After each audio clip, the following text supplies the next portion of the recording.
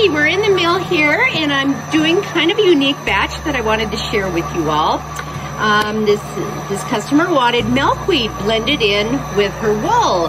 And here's what the milkweed fiber looks like. And here's where, let's see here, this is where she got it from Monarch Flyway out of Nebraska. You can purchase milkweed fiber that they, I think they plant them for the monarchs, which is pretty cool.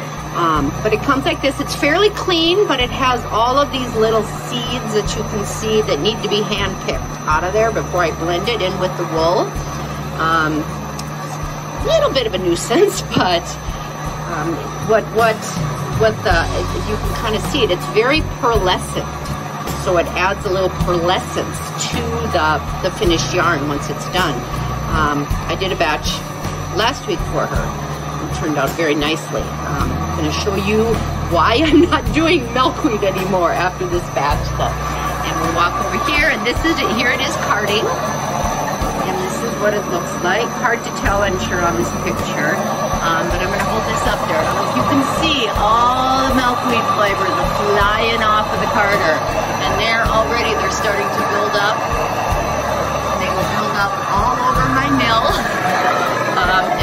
are starting to are starting to uh, puff a little bit in water, and I'm getting very stuffy, and and it just it just goes everywhere. It's just crazy. Uh, yeah, but this is this is this is how I blend it, and it just goes in there, and it blends actually quite beautifully. What stays in the wool blends beautifully. Um, so you can sure do this on a blending board or with a hand with hand cards or if you have your own um, drum card you can sure do this.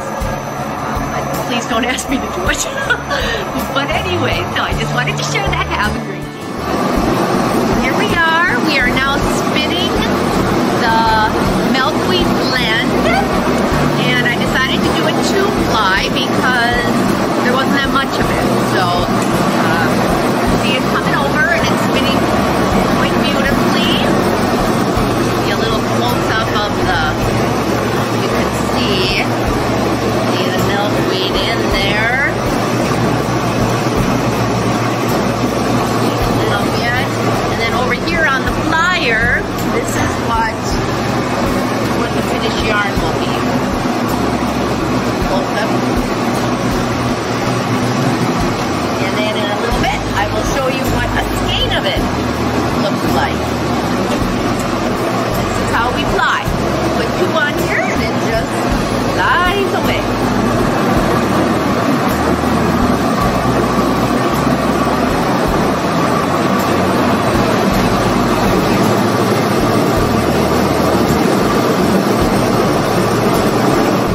Okay, now we are going to skein the milkweed batch.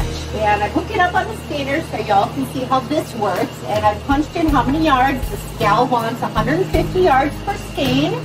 So I put it in there and on it goes. And it is counting every rotation is two yards. So it just keeps track and turns out automatically when it hits 150 yards.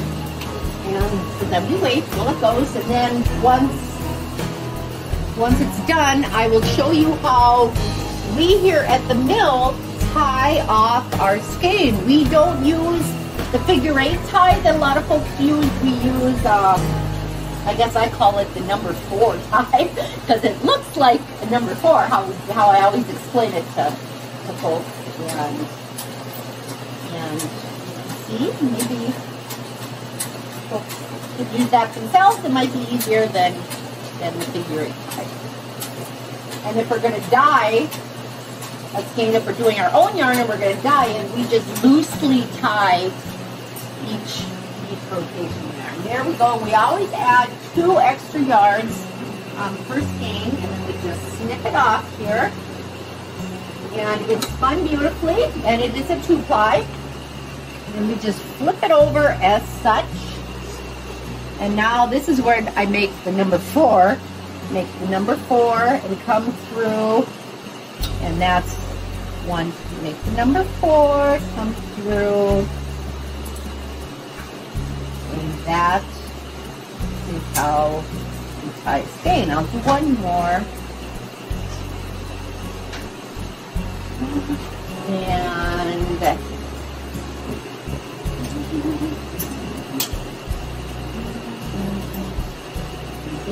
then, oh, I guess I should do all of them because I want to take one off and show you what this skein looks like. So I'll quickly do this last one here too. On the end of it, got a little cable. There it is.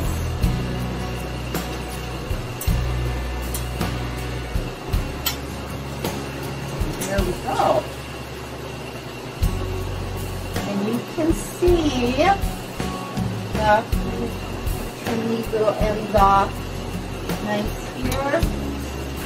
And we relax. Here, here's the finished yarn. We'll put it in a skein. And voila, this is the finished skein. I don't know if you can see it, but there's a little bit of pearlescence that the milkweed adds to it. And it, it's just very pretty. And now it needs a bath now. And so um, once it's washed, it's going to bloom.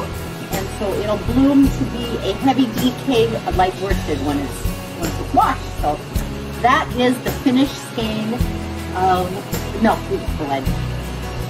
Thanks much. Bye.